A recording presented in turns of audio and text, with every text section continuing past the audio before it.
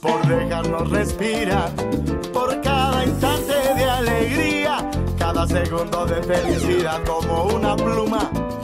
La vida tan frágil es